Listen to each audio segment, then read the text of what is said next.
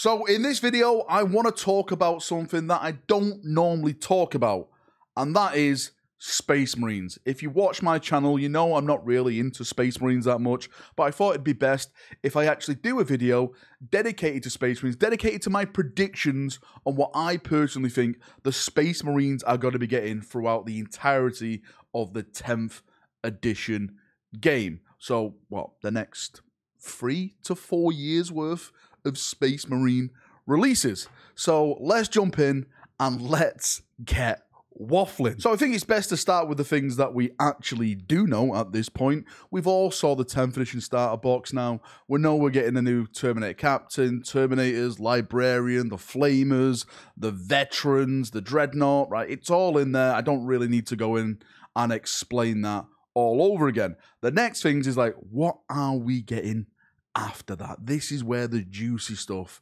starts. Now, I've spoken about this before. Apparently, at the end of summer, well, not apparently, it is actually happening. At the end of summer, September, August, we are going to be getting a new Space Marine Codex. It's probably maybe one of two Space Marine codexes of this edition, maybe even three. That's the way Games Workshop normally does it. Games Workshop likes to milk Space Marine players at this point, for those of you who are not really um, aware. But anyway, the first one is coming out uh, at the end of this summer. And there is rumors already circulating potentially of what is going to be coming with that. I've spoken about this, that one of those rumors is a Terminator chaplain. When you look at the Terminator range now, there's so many bloody options uh, they can go into, like a new Terminator Apothecary, a new Terminator Chaplain. We've already had the Librarian, a Terminator Lieutenants, even a thing. You know, maybe a Terminator uh, Champion, uh, you know, Terminator Chaplain, like I mentioned.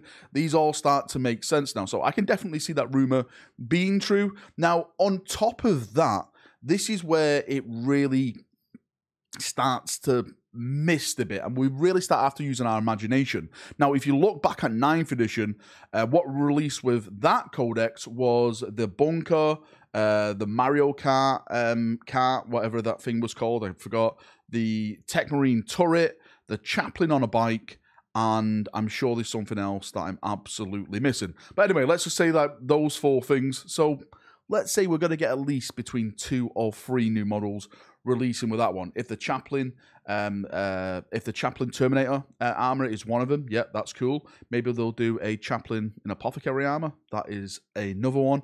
And if there's something that I would absolutely love to happen for Space Marines, like generic Space Marines at this point, is a brand new flyer. I've been saying this for so long now. I just want a cool, different looking flyer. Yeah, we've got the Storm Ravens, the Thunderhawks, the Stormbirds. Um, I don't know. I just want something really, really cool, something new imagined by the GW team. Something, well, well, I would argue that Primaris could get into, but they've changed the rules now where Adeptus Astartes are just everyone and we can all get in each other's gear, which of course is a great thing. Now, before we get into the special chapters and potentially what they could get in 10th edition, again, I'm going to timestamp all this. So if you just want to skip to it, I actually just want to talk about Terminator armor because I really do think that this is going to be a huge thing going forward now in 10th edition. And I personally think that every character that has Terminator armor now in the current model lineup will be getting a new model. So let's start, of course, with Lysander. Lysander is probably the most famous Imperial Fist character at this point. To be fair, I think he's the only Imperial Fist character um, at this point. We change chapter masters like every single codex edition we get because GW just love killing off our chapter masters. But um, he's the one who's always remained there. Yes, we've got um, Tor Garadon and stuff like that, but you know he is like the main focus. And a lot of people have always been asking, like, "Hey, why?" Hasn't he got an update? Is and if he did get an update, is he going to go to Gravis because he had Terminator armor, etc., etc., etc.? But now we know that they've redone the Terminator armor to a scale where you know, a Primaris Marine or a normal Firstborn Marine can get inside of it. So it makes sense now that even if they did give him a new model, he can still stay firstborn. He can even go cross the Rubicon Primaris um, if he wants to. Not that it matters anymore because everyone's just an Adeptus Astartes now. We're no longer in the firstborn slash Primaris camp. So for characters like him, it really does make sense that we will be seeing new models for them in 10th edition. Adding to that, I'm trying to think of other um, other Terminator characters. You've got Belial, which we'll get onto the Dark Angel stuff later on. Um, you've got the chap and the Space Wolves who throws his hammer like Thor. I'm sorry, Space Wolves, I always forget your name. And we've also got the is it the first company captain of the Ultramarines? But I'm sure they painted him up as the as the captain of the 10th edition box set. I'm sure they mentioned that uh, that somewhere else. Basically, what I'm trying to say, if you've got Terminator armor, it's probably going to be a great thing for you going forward to see new characters in 10th edition. So coming off the back of talking about Terminators, I think it's best to start with the chapter specific stuff and start with the faction, which I really, really hope get some type of refresh, some new some new type of models, um, and that's the Grey Knights. Um, how many times have we spoken about the Grey Knights on videos, um, on streams? We we know the Grey Knights themselves just got a little mini update. They got a brand new Castellan Crowe model, which again looks fantastic. It looks amazing. But when you put that Castellan Crowe model now next to the Grey Knight range, the scale looks just a little bit odd. It looks a little bit off. You know, the model is fantastic. The model is amazing. And uh, most of the Grey Knight models, I, I still think are amazing. Like the Terminator armor still holds up um, this day. But the problem is now with the new scale of Terminator armor, those Terminators are going to look very, very small compared to the new Terminator models. So I'm hoping that Games Workshop actually does release a new Terminator kit aimed at the Grey Knights, where you know you can get all like you know the, the their amazing shoulder pads, the the halberds, all upscaled, just looking way more cooler, way more better. I'm actually thinking, when did they introduce the Grey Knights? Was it fifth edition? Please correct me if I'm wrong, but their models are out 15 to going maybe closer to 20 years old now. Again, hold my hands up, not too familiar with, with the Grey Knight Ranger when it released, but I'm sure it came out around that fifth, sixth edition um, mark. So hopefully we'll start seeing some stuff for the Grey Knights getting implemented um, and some hopefully new stuff as well for the Grey Knights to being given calls back. Cawl's got all this technology.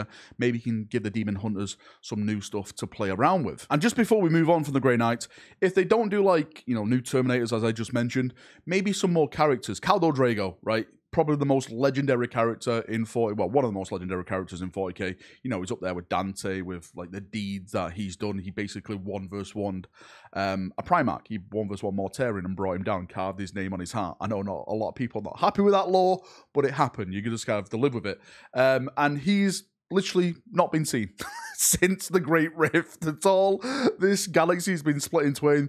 Chaos is pouring out of it, and no one knows where Kaldor Draigo is. So come on, Games Workshop. I think it's time to reintroduce this legendary figure, give him some more activity during the dark times of Warhammer 40,000. Well, to be fair, every time is a dark time, but you know what I'm trying to say, right? Where is Kaldor Draigo? Space Wolf players, I'm sorry to say, I don't think this is going to be your edition.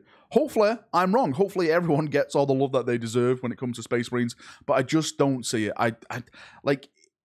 I think 11th edition is going to be your edition. I think that is when potentially we could have Leman Russ returning, and with that, the Space Wolves get that big full range refresh happening, and you get all the new characters, you get all the new armor, all the new cool shoulder pads, pelts, howls to the moon, everything like that. Just for now, in 10th edition, I really don't see you getting anything. I'm sorry, I'm not nothing against you. I'm, you know, I do like Space Wolves in a way, um, but I just don't see anything happening uh, for you chaps this edition. Watch me be completely wrong now, and they get everything this edition. Moving on to the Blood Angels, and this actually does excite me because I have heard rumblings of the Blood Angels, so I'm really, really hoping that this edition they do get something big. Like when it comes to range refreshes, maybe Games Workshop is probably only going to do like two in terms of Space Marines because let's face it, there's a whole lot of other races out there in 40k. I know this is the video aimed just at Space Marines, but we have to face the facts, right?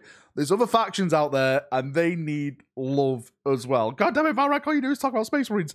Um, so yeah, maybe this will happen, maybe not. Um, as I said, I have heard a few rumblings, but nothing to build foundations on at this point. This is why I haven't done like a, a rumor video or anything like that. All we do know at this point is Dante's just got an incredible new model, and I personally think it would be incredible, absolutely incredible, if that Golden Boy was joined by more Golden Boys. If we gave him, you know, new sanguinary guard, that would look fantastic. If we gave them um, characters that are also connected to the Blood Angels, like Gabriel Seth of the Flesh Tearers. He's a huge part of 40k lore. It's a huge part of Dante's arc and the Blood Angels and, you know, the, the Blood of Sanguinius, let's say.